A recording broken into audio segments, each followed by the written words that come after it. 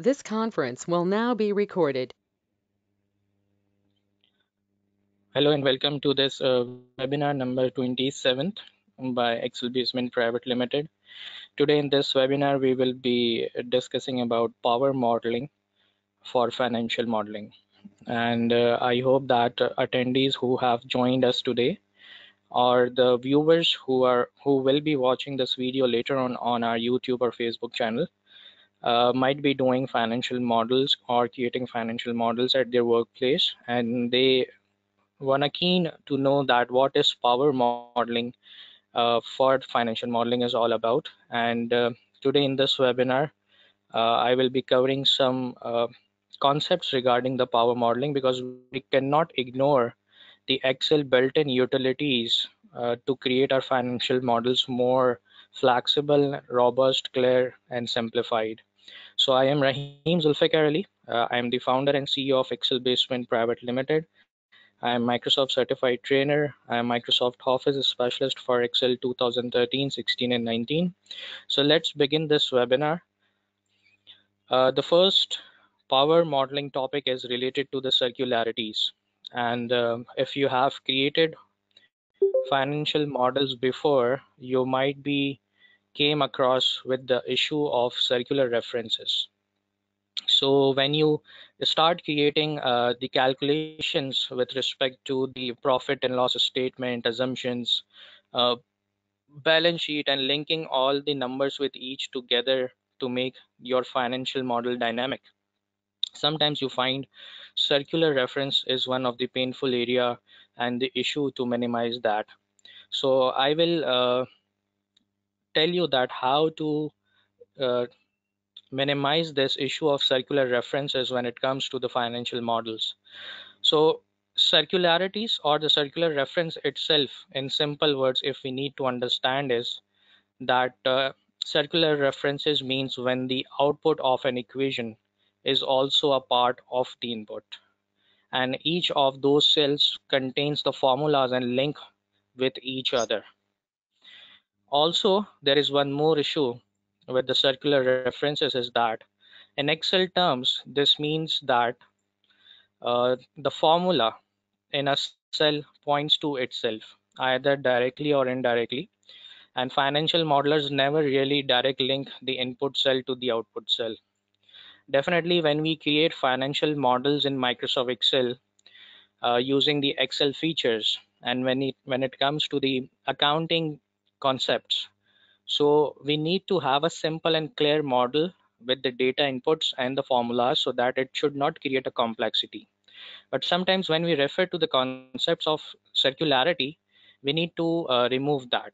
And for that, for doing that, let me take you to the demonstration part in Microsoft Excel where I have created a simple example that's not the real, but that gives you an idea, a mirror in uh, reflection that if in case in future if you find circular references in your financial model how you can uh, delete them or minimize them okay?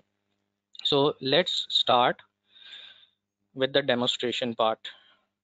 So here on my Microsoft Excel screen you can see a, a very short and basic example here in which we will uh, try to remove the circular references from this statement. So we have sales uh, less cost of goods sold, we, we got the gross profit by just subtracting the sales amount from COGS.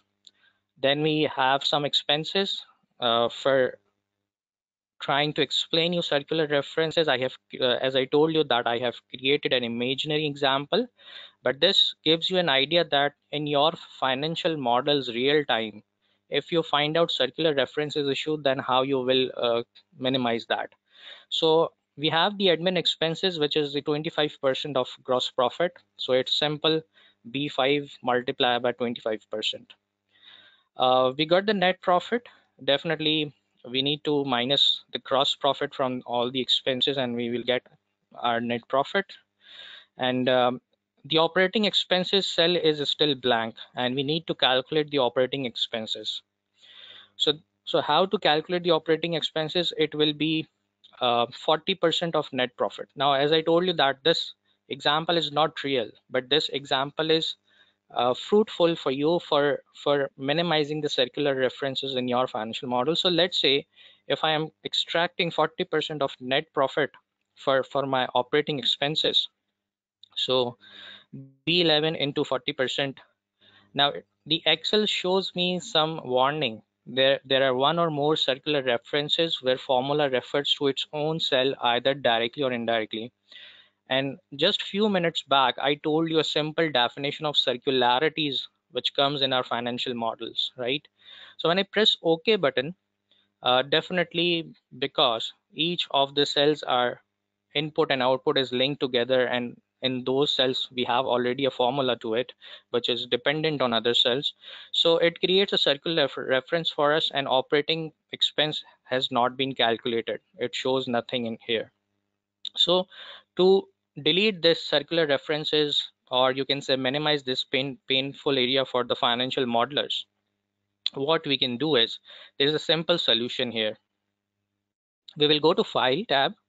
We will click on options and excel options window will appear here. And we will click on formulas button okay? And on the right side you will have a built-in feature.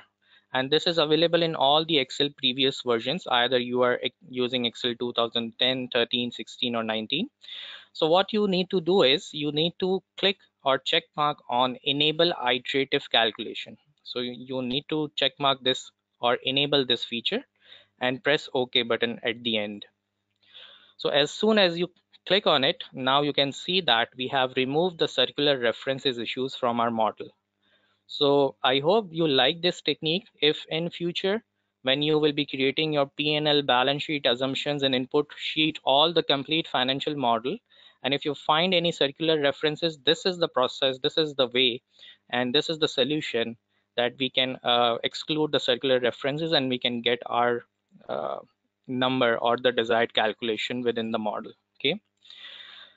Let's proceed to the next part after discussing the circularities, uh, the next issue uh, for the power modeling very important is that formatting.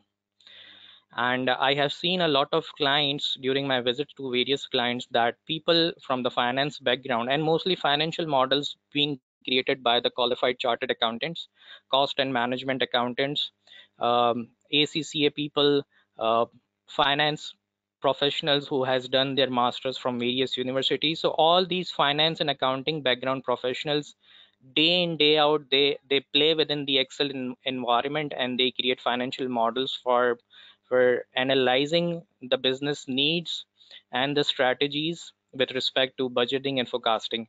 Now as i have seen that they do not give much importance to the formatting and it's really formatting really matters. So I will share some of the powerful techniques of uh, applying the formatting areas in your financial model so that uh, you should be able to judge that in which area you need to have the input cells, which will be the formatting cells, which will be the formula cells, and how to interlink be between the workbooks. Either the external links are uh, slow downs your workbooks or not. So, so first, let me show you some formatting techniques so, so the three factors of a good financial models are consist consistency, efficiency, and clarity. Definitely, either you go to any of the website blog regarding the financial models, you will find these words very commonly used because the financial modelers need to build their financial models with a consistent uh, approach uh, to be more flexible so that if they if in future if they change some functions or they want to modify in, in some form of data structure so they can manipulate or transform them. Uh, there should be an efficiency and there should be a clarity of uh, the assumptions taken in the financial models. So regarding the formatting, uh, the best practice say is that your inputs, your hard-coded data, your historical values which you have, and your assumptions and drivers must be in blue color. Okay, now the font color should be in blue color either you use a light color or a dark color depends on your choice but uh, the blue colors standard defines that if any input hard-coded data or the historical values you are uh, creating in your model should be in blue color then the calculation and references to the sh same sheet should be in black so that you can identify that these are the cells or the ranges array uh, which are in black color have some calculations. Then the green color for the calculation and reference to other worksheets because we know that when we create a financial model some of the employees create notes to the account some of the employees might create a balance sheet or pnl and the interlink other notes to that financial statement. So so there are there is no one workbook which contain the entire financial model. Sometimes we have to link those numbers with the other excel workbooks. So you can use uh, a different color for that and that might be green as per standard. And if you are using references to the separate or external links it can be anything either on your organization local area network you are taking something from that folder or file specific file from other user system. So you can uh, highlight that with the red color as well. So uh, if anything breaks up within the financial model you will be easily identify that what exactly the issue is going on. So formatting matters a lot and that gives you a power to it. Next uh, a lot of time um, i have seen that people do some manual calculations uh, for the input and assumptions. And uh, this is not a good practice. If you are an excel user and you know the built-in features such as data validation conditional formatting if you know the form controls can be used within the developer tab use them. Make sure that you make your financial models more automated more flexible and more clear. And don't use complex formulas just try to use the simple formulas. One of the rule of the thumb says that if you have created a financial model and uh, you have used a formula if the other person is not able to understand your formula within 90 seconds so your financial model is not very much efficient and effective.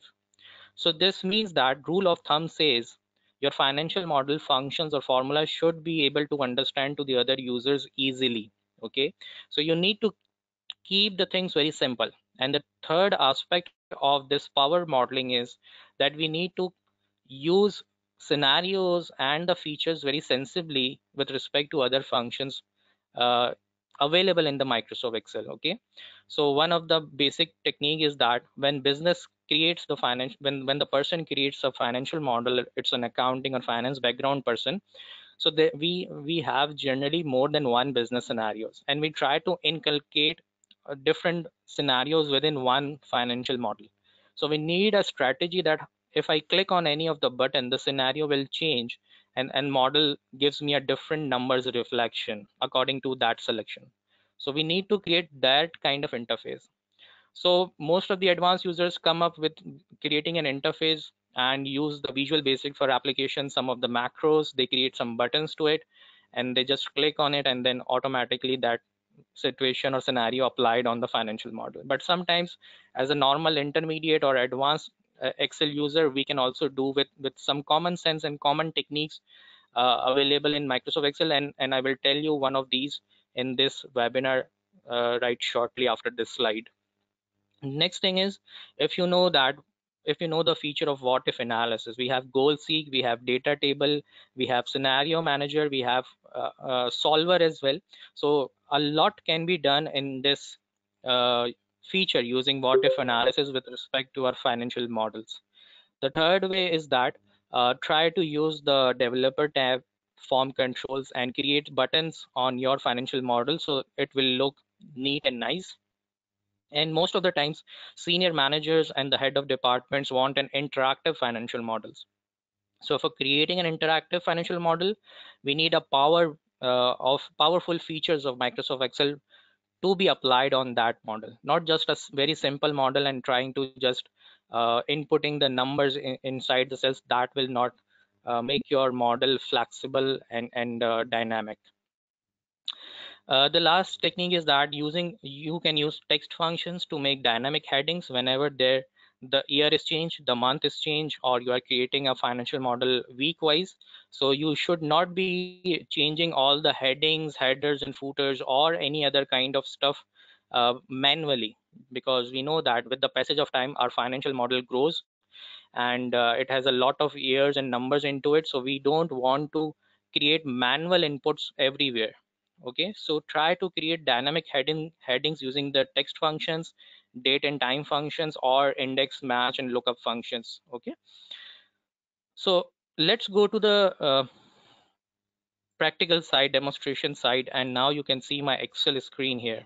So i have a small statement here again and uh, we have uh, actual and the forecast next five years forecast here and we have three different scenarios so in this statement i just want to tell you that how smartly we can create um, financial model flexible by adding some built-in features available in microsoft excel okay? So now here the company has three different scenarios a base scenario best scenario and the worst scenario. And they have allocated a different percentages for the next five years according to their assumptions their, their market assumptions. And uh, what we are required is we need to place the percentages here on the yellow highlighted cells which is which represent the sales growth of every year and, and for the next five years. So if the company is working on the base scenario, they will increase their growth by 7%. If the company is uh, doing their best, they, they will grow by 12% every year and if the company is not doing their best if they are in the worst situation just like covid or any other external matters or assumptions so they will move towards the fourth four percentage per year and they will grow like that.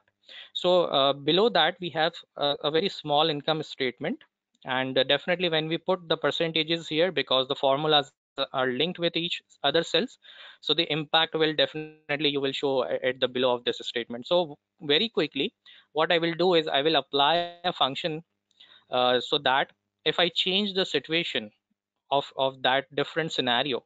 That percentage would drive out from from the cell and that will place on this raw number 11 which is the sales growth percentage okay?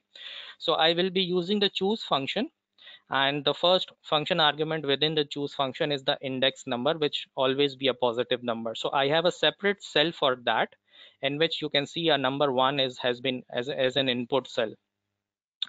Now uh, the the value one will be the my first scenario which is the base scenario for the organization. Value two will be the second scenario which is the best scenario for the organization. And the value three will be the third scenario which is the worst situation.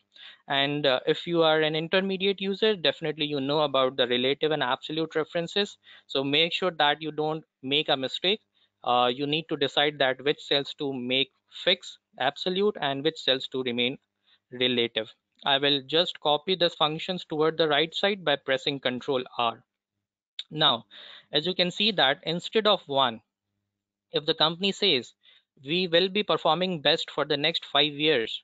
So what will be our growth for the PNL? So when I write 2 in the cell, the percentage 12 will be applied here by the help of choose function and our PNL shows the reflection for the next five years. So that what will be the numbers if we go with the 12% growth every year. And if we go for the worst scenario, I can write 3 here and my model changes. So this is how you start thinking about the simplicity uh, having multiple business scenarios and how you can add to your financial model. More to it, what smart work we can do here is we can go to developer tab and here from insert option, uh, we, we will be inserting a combo box. So I will just drag and drop this combo box and I will create a filter menu, filter uh, list kind of thing. And uh, I need to fill this first. So what we need to do is we will right click on this object and here on this contextual menu, there is a last option which is called format control. I will click on format control and in the last tab of control, uh, first I need to define the input range. So input range means when I open this filter uh, with list, so we need to define a list here. So the input range will be B6 to B8, the names of three different business scenarios for the sales growth, base, best, and worst. Okay. And then we need to link this object with a cell. So I will choose C5 to be linked with this drop down menu. Okay. And I will press OK button. So now, as you can see that there are three names appear in the list, base, best, and worst. When I click on base, it will generate one. and the choose function will pick the first percentage with represent the base sales growth for that organization. When I again open this drop down menu, I will select the best. I will click on best. It will generate two and the choose function will choose the second scenario for this sales growth. So now what I can do is once I have finished making this drop down list, I can just place it on top of that cell. And now when I choose a different situation, you can see that the percentages are changing and the percentages are changing and my financial model is being changing with different values. So this is how you make your financial model more flexible, clarity, and simple so that other user from the rule of thumb within 90 seconds, the other user can easily understand these kind of logics. Financial models at this very same time can be created complex, but we don't need to create complex financial models, okay? Okay, coming back to the next part. It's very important to protect your data because when it comes to the financial models, the business numbers are the sensitive part and we don't want that other users should uh, get all those numbers. And most of the times what we do we do not send the entire excel workbook entire financial model to the other colleague. Uh, what what is relevant we just copy that we create a pdf file and we send it through outlook or any other application of emailing. So every time we don't give our complete financial model because it can be reverse engineered by someone else and the numbers and the logics can be exposed. So organizations also want to protect your work. And specific to the power modeling, in Microsoft Excel, we have two functionalities available with respect to the security, which is we can protect the sheet and we can protect the workbook. And when it com comes to the protecting the worksheet, we can protect the cells and we can also use to protect our data validation list or conditional formatting in the business scenarios. So in this webinar, I am not specifically teaching how to apply the protection, but as a part of webinar, uh, it's very important. You should understand that your financial model should apply all the protecting features available with respect to Microsoft Excel. And when it comes to the other applications, now we have some more other applications available for creating the financial models. And we have also third party add-ins available which can be downloaded either free or paid. And that can be integrated with the uh, with the excel as a as a separate add-in and you can use their functionalities. And i will tell you uh, shortly that what kind of uh, add-ins regarding the financial models are available. But on this specific part we need to also make sure that our financial models are protected right away and we should not forget the password as well because it will create a lot of pain when you have created your whole financial model and at the end you protect with a password and you forget that password okay? So apply the protection tools available in microsoft excel. Next uh, there are four key points which i want to add for this webinar and these are very important and i want to explain you one by one so the first point says uh, for, for power tips for the financial models, number one is clarify the business problem and intended goal. What this means. See, you need to understand what problem is this financial model designed to solve? Who are the end users? What are the users supposed to do with this model? These are the three questions you need to ask yourself and your inline managers before creating your financial models. So which kind of problem this financial model will be solving and the end users who will be using this later on. The second point is try to keep the model as simple as possible. Now this means what is the minimum number of inputs and output required to build a useful model. Remember that the more assumptions a model has, the more complex it becomes. And if you have a lot of assumptions within the financial model, you need to create a separate sheet for that and you should be linking with other uh, items with respect to your P&L balance sheet or any other thing like cash flows. Okay. Number three, plan your model structure. It's very important. Plan how the inputs, processing, and the outputs will be laid out. Try to keep all your inputs in one place, as I told you, and as much as possible in order to have a quick overview of all the inputs and other inputs on the model. And uh, we know that sometimes our financial models are interlinked with the other excel workbooks as well. So we need to take care of that. And we need to identify that how the structure has been designed for that. Either we are creating very complex or, or simple financial models. For example uh, uh, during my job experience at, at, one of the bank in pakistan i used to create financial models for for the branches. And that was actual versus budget. So we have created all these uh, 1400 uh, branches models uh, in microsoft excel. And we used to apply all the power modeling features available within the excel with respect to protection with respect to the features like uh, conditional formatting with respect to the to the entire input cells to the output cells what will be the assumptions with, within the different sheets just like uh, we take KIBOR rates uh, we take LIBOR rates we take money market rates and we take all those percentages and assumptions within our financial models with respect to the Pakistani domains, right? So, so we need to think all of that uh, as a 360 degree. The last part is protect the data integrity, and that's very important. So utilize the Excel tools to protect data integrity, including, as I told you, all the features which are relevant for your financial model, okay? And that's very important part. Now let's come to the uh, last section of our today's webinar is the uh, learning resources which are available for if you are accounting and finance background and you want to pursue with respect to the financial model. So one of the website which is called Modeloff. Uh, the Modeloff is, is a website for all the accounting and financial back, background people or the professionals and students uh, who uh, what they what this website does is uh, and annually they have a competition regarding the financial modeling. And all from all around the world uh, the accounting and finance background professionals registered themselves. They have three rounds to complete each year. And uh, this year in 2020 uh, this competition will be available in the month of november where you can have a lot of uh, chances to win the cash prizes global rankings and certifications and, and a lot of resources as well. Okay? So after the webinar you can visit this website as well. Uh, if you want to learn or have more resources regarding a different kind of uh, financial models and remember that one very important key point.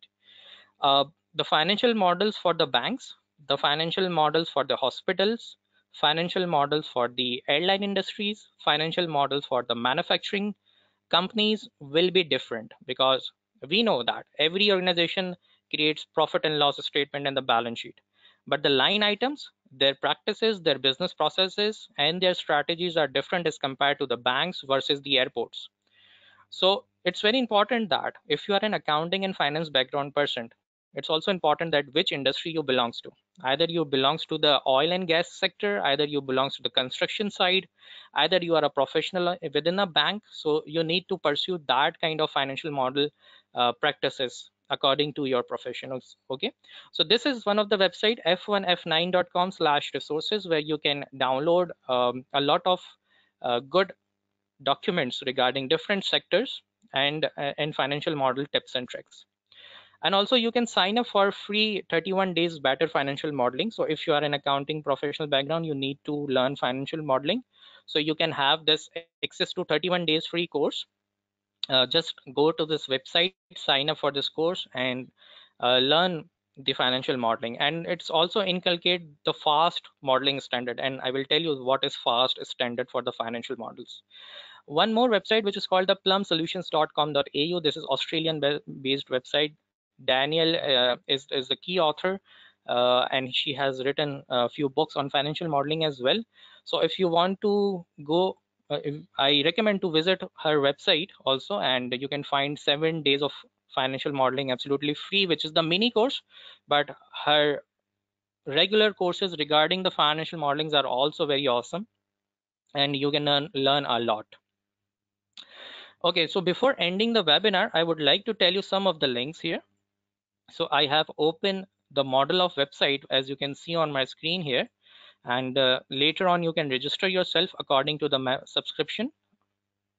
Okay there are different subscription. There are world championships uh, excellent bi training ModelOff master classes. This this is a very best platform for all the financial modelers and accounting professionals. Either you are a ca acca uh, icma ic if you know if you have are working in finance or regarding to it uh, you can join this platform as well. Uh, we have one more platform uh, which is cfi and if you want to pursue as a financial analyst definitely they have different courses on it um, and you can select that. But with respect to your industry okay uh, as i told you about f1 and f9 there are a lot of resources available depending on which um, segment you are working on either you are working on capitalism oil and gas industry or you are working on agile modeling model optimizations. These are the techniques you want to learn. Uh, either you are working as a business analyst financial business analyst or finance finance executive in any organization so you should come with it. Uh, mo in most of the financial models and one of the best practice is regarding the fast standard. Now what does fast means? F means flexible a means appropriate s means structured and t means transparent. So if you go to this website fast standard.org on in this resources you will find a lot of resources where you will find principles for good spreadsheet practice fast standard brochure okay and you can find a lot of articles available um, pdf books available on their website. You can download them so this is all about regarding the power modeling um, in for financial modeling i uh, if you have joined late this webinar you can watch this later on a recording will be available on our YouTube channel, Excel Basement. I would like to have your questions now. Thank you so much for attend attending the webinar.